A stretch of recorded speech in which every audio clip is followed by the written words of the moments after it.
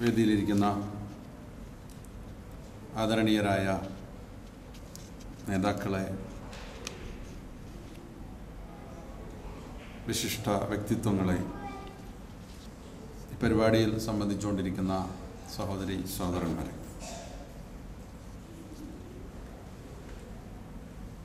നമ്മുടെ മാതൃരാജ്യം വളരെ പരിതാപകരമായ സങ്കീർണമായ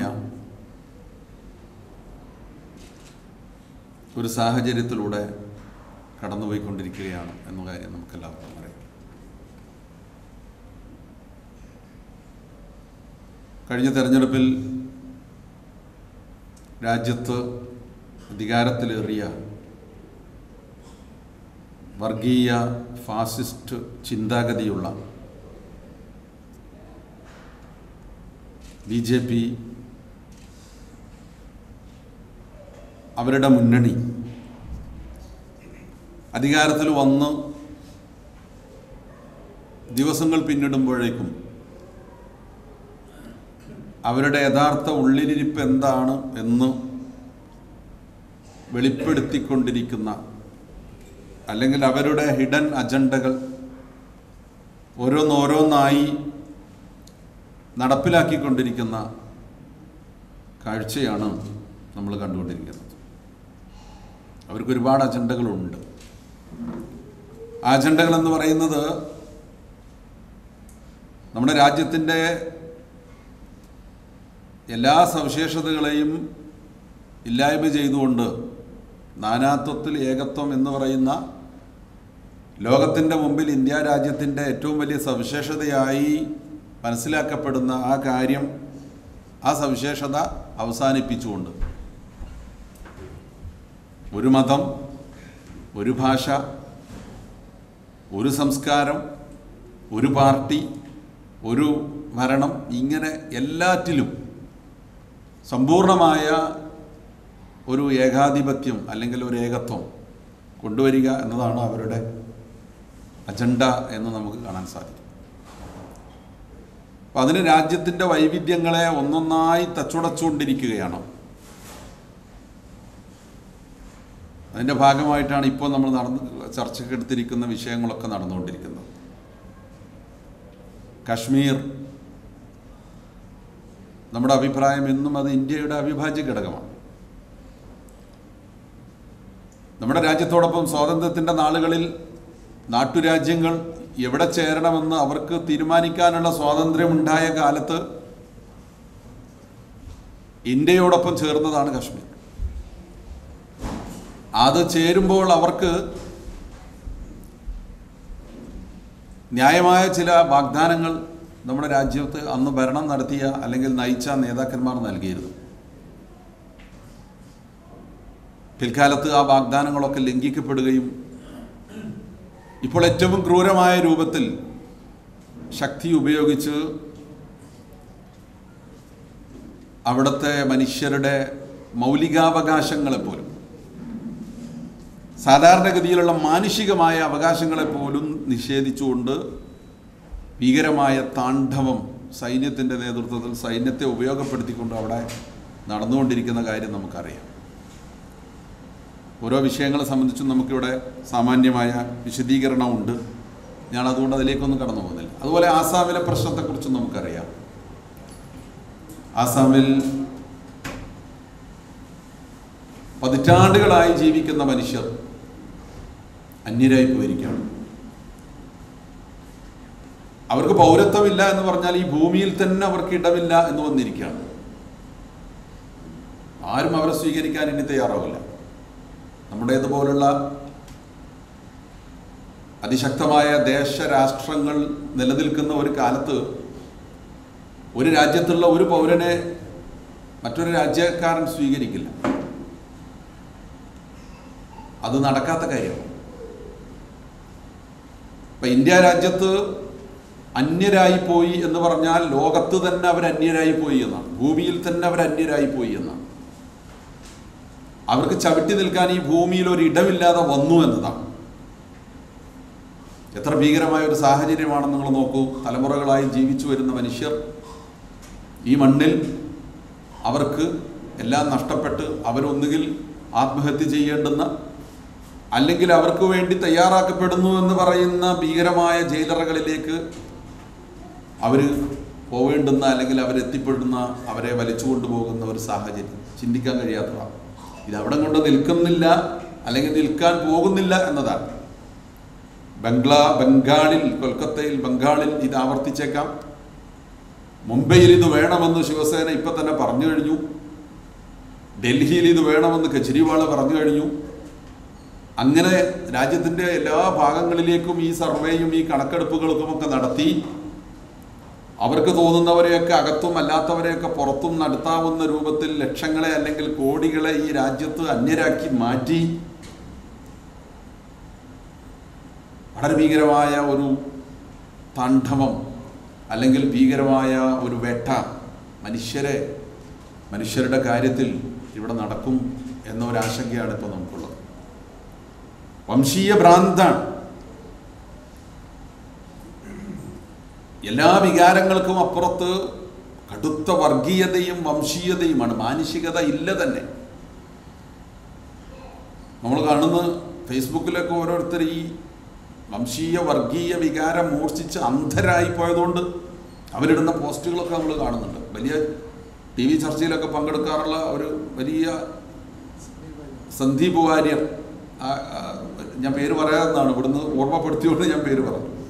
വലിയ ബുദ്ധിജീവിയായിട്ട് ചാനലുകളൊക്കെ അവതരിപ്പിക്കുന്ന സംഘ സംഘ രാഷ്ട്രീയത്തിന്റെ വക്താവ് സന്ദീപ് വാര്യർ. അദ്ദേഹത്തിന്റെ ഫേസ്ബുക്ക് പോസ്റ്റിൽ എന്തായിരുന്നു? മൂവായിരം ആളുകളെങ്കിലും ടയർ കത്തിച്ച് കഴുത്തിലിട്ടിട്ട് ശരിയാക്കണം കാശ്മീരിൽ. അതോടുകൂടി അവിടുത്തെ വിഘടനവാദം നിൽക്കും. കെ ആർ ഇന്ദിര എന്ന് പറയുന്ന ആകാശവാണിയിലെ അല്ലെങ്കിൽ ഗവൺമെന്റിന്റെ ഔദ്യോഗികമായ ഉന്നതമായ സ്ഥാനത്തിരിക്കുന്ന ഒരു പെണ്ണ് അവർ പറഞ്ഞുകൊണ്ടിരുന്ന കാര്യങ്ങൾ. അതിനടിയിൽ വന്നുകൊണ്ട് അങ്ങനെയുള്ള പോസ്റ്റുകളൊക്കെ വരുമ്പോൾ അതിനടിയിൽ വന്നുകൊണ്ട് ഓരോരുത്തരായിട്ട് പറഞ്ഞുകൊണ്ടിരിക്കുന്ന കമന്റുകൾ അതിന് നൽകുന്ന പിന്തുണ. അതാണ് നമ്മളെ ഭയപ്പെടുത്തുന്ന ഏറ്റവും വലിയ സാഹചര്യം എന്ന് പറയുന്നത്. ഇത് പണ്ട് നമ്മൾ ചരിത്രത്തിൽ വായിച്ചിട്ടുള്ള ജർമ്മനിയിലെ വംശീയ ഉന്മൂലനം. എഴുപത്തഞ്ച് ലക്ഷം മനുഷ്യരെ ജൂതന്മാരെ ഹിറ്റ്ലർ ക്രൂരമായി കൊന്നൊടുക്കി എന്നാണ് ചരിത്രം. മാത്രമല്ല വംശീയ ഭ്രാന്ത് മൂത്ത് ആര്യ രക്തത്തിന്റെ മഹത്വം പറഞ്ഞ് ഞങ്ങളാണ് ലോകത്തെ മുഴുവൻ നയിക്കേണ്ടവർ ഞങ്ങളല്ലാത്തവരൊക്കെ ഞങ്ങൾക്ക് കീഴ്പ്പെടണമെന്ന ആ ഒരു ചിന്താഗതിയിൽ ആ ഒരു വാശിയിൽ ആ അതിനുവേണ്ടി നടത്തിയ മുന്നേറ്റത്തിൽ ലോകത്തുണ്ടായ വമ്പിച്ച നാശനഷ്ടങ്ങളിൽ യുദ്ധങ്ങളിൽ കോടിക്കണക്കിന് മനുഷ്യർ കുരുതി കഴിക്കപ്പെട്ടു. ഇത് വീണ്ടും നമ്മുടെ രാജ്യത്ത് ആവർത്തിക്കാൻ പോകുന്ന അല്ലെങ്കിൽ ഇന്ത്യയിലും ആവർത്തിക്കാൻ പോകുന്ന ഒരു കാര്യമായിട്ട് നമുക്ക് കാണാൻ സാധിക്കും. കാരണം ഇവർ ആവേശം ഉൾക്കൊണ്ടിരിക്കുന്നത് എവിടെ നിന്നാണ്? ആർ എസ് എസിന്റെ വേദ പുസ്തകം പോലെയാണ് വിചാരധാര. ആ വിചാരധാര ഞാൻ വായിച്ചിട്ടുണ്ട്.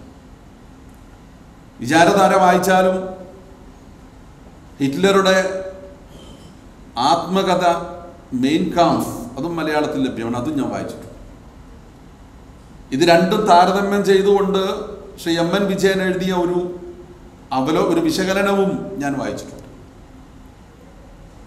അപ്പം മെയിൻ കാംഫിലെ ഹിറ്റ്ലറെ കുറിച്ച് ഹിറ്റ്ലറെ കുറിച്ച് വിചാരധാരയിൽ പറഞ്ഞിരിക്കുന്നത് നമുക്ക് മാതൃകയാക്കാവുന്ന ഒരു ദേശസ്നേഹിയായിരുന്നു അദ്ദേഹം എന്ന അപ്പൊ ഹിറ്റ്ലറാണ് മാതൃക. ഹിറ്റ്ലർ ഏത് തീവ്ര വംശീയ വർഗീയ ചിന്താഗതികൾ ഉയർത്തിക്കൊണ്ടുവന്നോ അത് തന്നെയാണ് നമ്മളും ഇവിടെ നടപ്പിലാക്കേണ്ടത് എന്നങ്ങ് പരസ്യമായിട്ട് പ്രഖ്യാപിച്ചിരിക്കുകയാണ് രാജ്യത്തിന്റെ ശത്രുക്കളെ ഉന്മൂലനം ചെയ്യണമെന്നാണ് മുസ്ലിങ്ങളും ക്രിസ്ത്യാനികളും കമ്മ്യൂണിസ്റ്റുകളും എന്നാണ് വിചാരധാര പറയുന്നത്. അമ്മയുടെ കണ്ണിലെ ഭാരതാംബയുടെ കണ്ണിലെ കരടാണ്. കണ്ണിൽ കരട് നിൽക്കുമ്പോൾ കണ്ണ് കലങ്ങി കരഞ്ഞുകൊണ്ടിരിക്കും. അമ്മ കരഞ്ഞുകൊണ്ടിരിക്കുകയാണ്. ഈ കണ്ണുകൾ ശുദ്ധീകരിക്കണം ഈ കരടുകളെ നീക്കം ചെയ്യണം. പച്ചക്കെന്ന് പറഞ്ഞിരിക്കുകയാണ്. ഇതാണ് ചെറിയ കുഞ്ഞുമക്കളെ പോലും ശാഖകളിൽ പോയിട്ട് പഠിപ്പിച്ചുകൊണ്ടിരിക്കുന്നത് അനുബന്ധമായി നൂറ് നൂറ് കള്ളക്കഥകളും ഇല്ലാത്ത ചരിത്രങ്ങളും കെട്ടുകഥകളും ഐതിഹ്യങ്ങളും പഠിപ്പിച്ചുകൊണ്ടിരിക്കുന്നു. അങ്ങനെ വളർന്നു വരുമ്പോഴേ ഈ രൂപത്തിൽ മനുഷ്യരെ കുറിച്ച് ചിന്തിക്കാൻ ഒരു ഒരു ഒരു മനുഷ്യനല്ല ഒരു ജീവിയെക്കുറിച്ച് പോലും മനുഷ്യർക്ക് ഒരാൾക്ക് ചിന്തിക്കാൻ കഴിയാത്ത ക്രൂരമായ രൂപത്തിൽ മൃഗീയമായി ചിന്തിക്കുവാൻ മനുഷ്യരെ സാധ്യമാക്കുന്ന അങ്ങനെ വളർത്തിയെടുക്കുന്ന ഫാക്ടറികളാണ് ഇവർ സ്ഥാപിച്ച് ഓരോ ഭാഗങ്ങളും സ്ഥാപിച്ചിരിക്കുന്ന ശാഖകൾ എന്ന് പറയുന്നത്. അതിലൂടെ വളർന്നു വന്നിട്ടുള്ള. അങ്ങനെ വളർന്നു വന്നിട്ടുള്ളവരാണ് രാജ്യത്തിന്റെ പല ഭാഗങ്ങളിലും അത് നേതൃത്വം കൊടുത്തുകൊണ്ടിരിക്കുന്നത്. അങ്ങനെ വളരെ വിഷലിപ്തമായ അപകടകരമായ ഒരു കാഴ്ചപ്പാടുള്ള ഒരു സമൂഹത്തെ വളർത്തിക്കൊണ്ടുവന്ന് അവരുടെ കയ്യിൽ അധികാരവും സൗകര്യങ്ങളും വന്നു കഴിഞ്ഞാൽ എന്താണ് പിന്നെ സംഭവിക്കാൻ പോകുന്നത്? വർഗീയത മാത്രം ജനങ്ങൾക്കും അത് മതി. അതാ കഴിഞ്ഞ തെരഞ്ഞെടുപ്പ് കാലത്തൊക്കെ നമ്മൾ ആളുകൾക്കറിയാം. ഇപ്പൊ എന്താണ്? ഇപ്പൊ രാജ്യത്തിന്റെ ആളോഹരി വരുമാനം ജി ഡി പി താഴ്ന്നു താഴ്ന്നു പോകുന്നു. സാമ്പത്തിക കടുത്ത സാമ്പത്തിക പ്രതിസന്ധി രാജ്യം നേരിടുന്നു.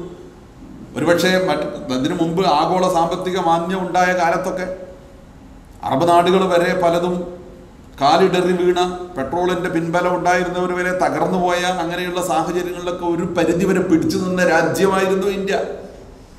ആ ഇന്ത്യ രാജ്യത്ത് ഇന്ന് ലോകത്തൊന്നും ഇല്ലാത്തൊരു സാമ്പത്തിക മാന്ദ്യം. അത് ഞങ്ങളുടെ കലണ്ടറിൽ ഞങ്ങളുടെ ഹിന്ദു കലണ്ടറിൽ രണ്ട് മാസം ഇങ്ങനെ ഒരു മാന്ദ്യം ഉണ്ടാകുമെന്ന് പറഞ്ഞിട്ടുണ്ട് എന്നൊക്കെയാണ് അതിനെ സംബന്ധിച്ച് സമാധാനിക്കാൻ വേണ്ടി ഓരോരുത്തർ പറഞ്ഞുകൊണ്ടിരിക്കുന്നത്. അടുത്ത സാമ്പത്തിക മാന്ദ്യം. രാജ്യം വിത്തെടുത്ത് കുത്തിക്കൊണ്ടിരിക്കുകയാണെന്നാണ്. റിസർവിലുള്ളതൊക്കെ എടുത്ത് തിന്നുകൊണ്ടിരിക്കുകയാണ് എന്ന് വെച്ചാൽ ഇത്തരം കാര്യങ്ങളെ സംബന്ധിച്ചൊന്നും ചിന്തയില്ല. അല്ലെങ്കിൽ കഴിവില്ല വിവരം ഉള്ളത് വർഗീയതയും വിദ്വേഷവും മാത്രം. ജനങ്ങൾക്കും അത് മതി എന്നതായിരുന്നു സാഹചര്യം. അതുകൊണ്ടാണ് കഴിഞ്ഞ തെരഞ്ഞെടുപ്പ് കാലത്ത് കുറേ കൃത്രിമങ്ങളും കുറേ ഈ പറഞ്ഞ ചിന്താഗതി. എന്തായിരുന്നാലും ശരി മറ്റവർക്കിട്ട് പണി കൊടുക്കും. അതുകൊണ്ട് ഇവർക്ക് വോട്ട് എന്നാണ്. മറ്റവനിട്ട് പണി അതായത് ഇവിടുത്തെ ന്യൂനപക്ഷങ്ങൾക്കും പിന്നോക്കക്കാർക്കും പണി കൊടുക്കുമെങ്കിൽ പട്ടിണി കിടന്ന് മരിച്ചാലും കുഴപ്പമില്ല. വോട്ട് അവർക്ക് തന്നെയെന്ന് വാ നമ്മൾ ചിന്തിക്കും ഇവരുടെ വർഗീയ സ്വഭാവം ഇവരുടെ മോശപ്പെട്ട സമീപനങ്ങളൊക്കെ ജനങ്ങൾക്ക് ബോധ്യപ്പെട്ടാൽ ആളുകൾ എതിരെ ചിന്തിക്കും. ഞാൻ ഒരു ഉദാഹരണം പറയുന്നത് കഴിഞ്ഞ തെരഞ്ഞെടുപ്പ് കാലത്ത് അതിന് നരേന്ദ്രമോദി ഗുജറാത്തിൽ മൂന്നാമതായിട്ട് മുഖ്യമന്ത്രിയായി തെരഞ്ഞെടുക്കപ്പെടുന്ന സന്ദർഭത്തിൽ അദ്ദേഹം അതിന് കഴിഞ്ഞ പ്രധാനമന്ത്രി പദത്തിലേക്കുള്ള തെരഞ്ഞെടുപ്പ് കാലത്ത് അദ്ദേഹം ഗുജറാത്തിൽ നടന്ന കലാപത്തിൽ ഇദ്ദേഹത്തിന് പങ്കുണ്ടായിരുന്നു എന്നുള്ള ഒരു ഒളിക്യാമറയിൽ ഒരു റിപ്പോർട്ട് വരികയുണ്ടായി. ഒളിക്യാമറയിൽ ഒരു ഉത്തരവാദപ്പെട്ട ആൾ പറഞ്ഞത്. അപ്പോൾ ആളുകൾ പറഞ്ഞു അതോടുകൂടി തീർന്നു കഥ. പക്ഷെ അത് അനുകൂലമായി മാറുകയാണ് ഉണ്ടായത്. ആ എങ്കിൽ നമ്മുടെ നമ്മുടെ ഹീറോ ആൾ വളരെ വലിയ ഹീറോയാണ്.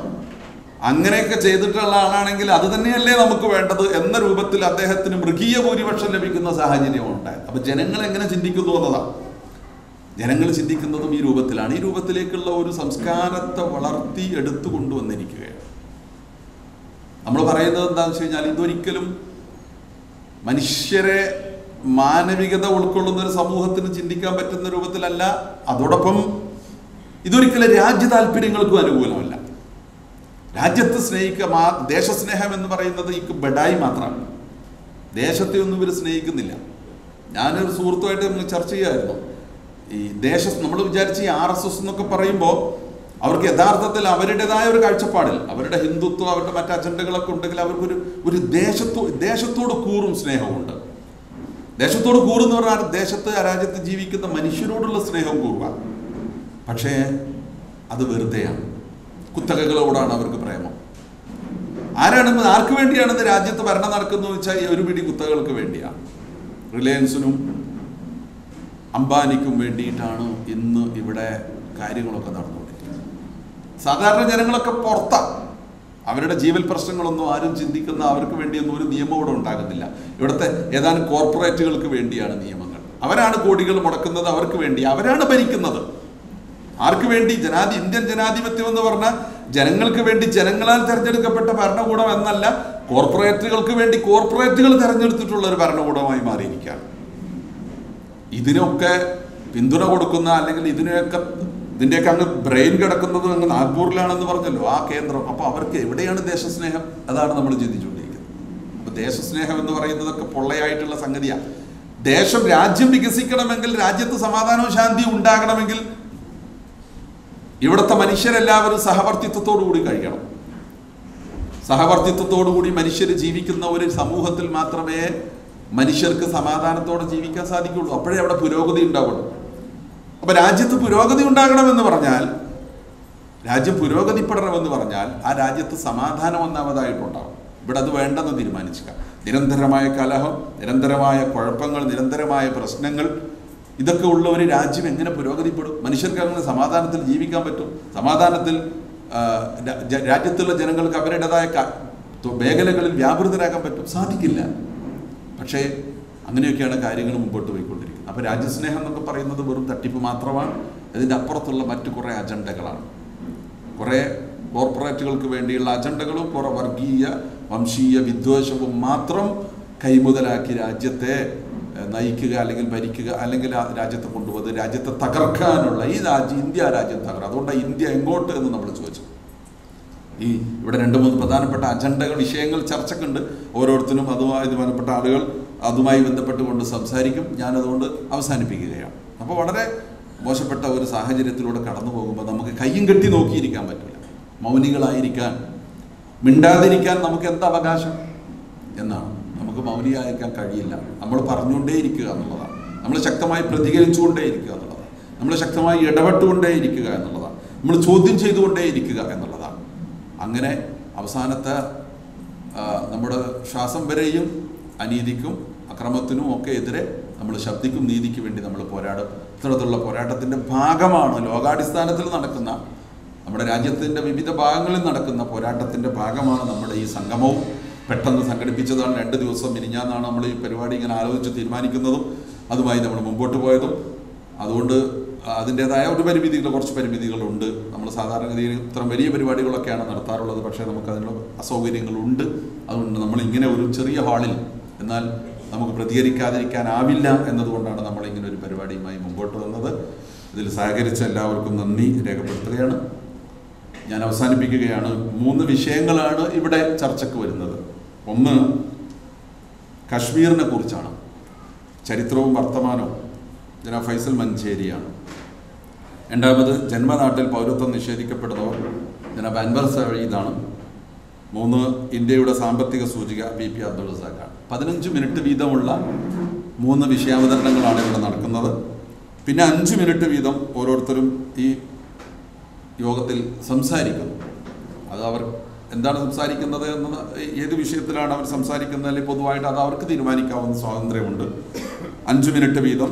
ശ്രീ തോമസ് കടവിൽ ഷർഫുദ്ദീൻ കണ്ണേത്ത് സത്താർ കുന്നിൽ കൃഷ്ണൻ കടലുണ്ടി അബ്ദുൽ ഫത്താഹ് തയ്യിൽ ഖലീലുർ റഹ്മാൻ എന്നീ കുവൈത്തിലെ വിവിധ സംഘടനകളുടെയും ഒക്കെ നേതാക്കളും സാമൂഹ്യ സാംസ്കാരിക രംഗത്തെ പ്രമുഖരുമായിട്ടുള്ള ആളുകൾ നമ്മൾ സംസാരിക്കുന്നു. എല്ലാവരെയും ഒരിക്കൽ കൂടി അധ്യക്ഷൻ എന്ന നിലക്കും കൂടി ഞാൻ സ്വാഗതം ചെയ്യുന്നു. നമ്മുടെ ആദ്യമായിട്ട് കശ്മീർ ചരിത്രവും വർത്തമാനവും എന്ന വിഷയത്തെ സംബന്ധിച്ച് സംസാരിക്കുവാൻ ജനാബ് ഫൈസൽ മഞ്ചേരിയെ ആദരപൂർവം ക്ഷണിക്കുന്നു.